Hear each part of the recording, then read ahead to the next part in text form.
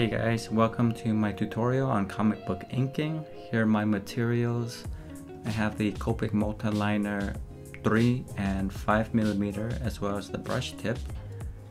The best paper that I've used is the Bristol Vellum or Plate Finish. It's very smooth so you can get a lot of details on this paper. The brush I use the most is the Winsor Newton Series 7 number 2 brush. You can also get a set of four brushes. That's very handy. The Higgins Black Magic drawing ink is very solid. And for white, Winsor Newton Gouache Permanent White is a great white to use. This is the most basic list. Let's move on to exercises. The most important thing about inking is making nice lines. When you make a long line, it's a good practice to lock your wrist and use your shoulder. Draw with your arm. This allows you to make long lines that are very straight and very smooth. It takes a little bit of practice. If you use your wrist, your line will arc and it will be impossible to make those nice long lines.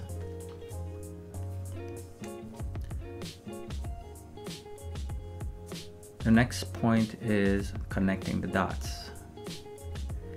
It's very self-explanatory. Just make two dots and connect dots in different directions.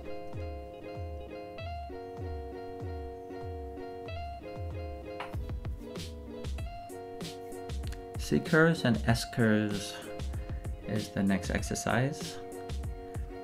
What you want to do is make nice smooth arcs and avoid squiggly lines.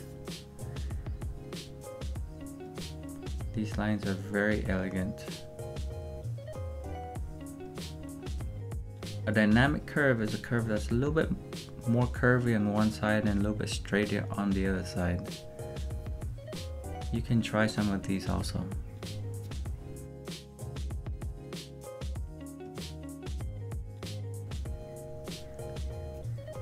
Next is cursive and terse lines. Cursive lines have thin ends and are thicker in the middle.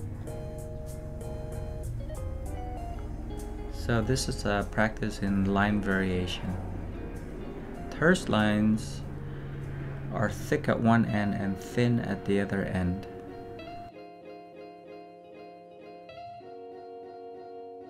The thing that's nice about terse lines is that you can use it to indicate the light direction.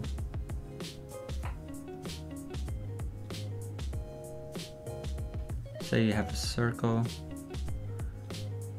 and a light that's on top. Then the bottom right would be the side and shadow.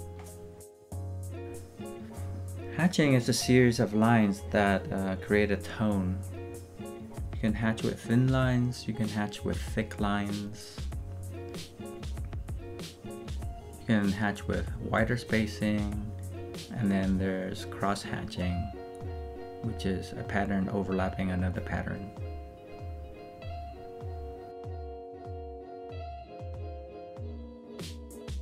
Feathering is the next technique. It's basically when you have a solid stroke and uh, little teeth that come out of it. The teeth represents a soft edge, a transition between the light and the dark area.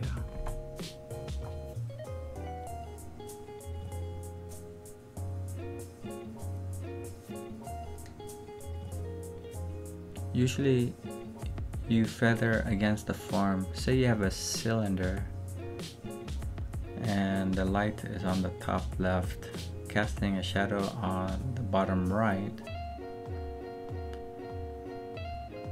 and along the length of the cylinder is called with the form. feathering would go against the form which uh, should curve around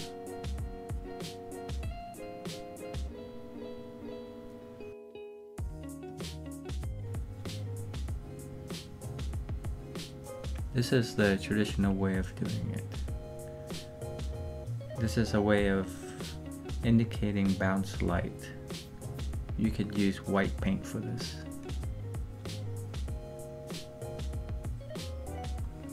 Another way of showing form is to hatch and use feathering together.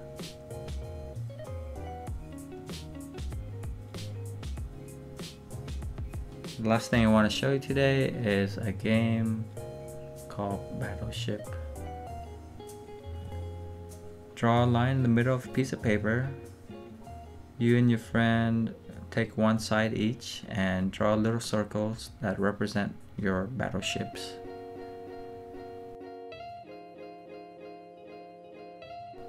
Then place your pen on your ship and fire away. After you go, he gets a turn or she gets a turn, and you cross out the ships that have been shot down. I know you're thrilled. You can try an alternate version where you turn the paper sideways so you can practice drawing lines sideways. And that's it for this week.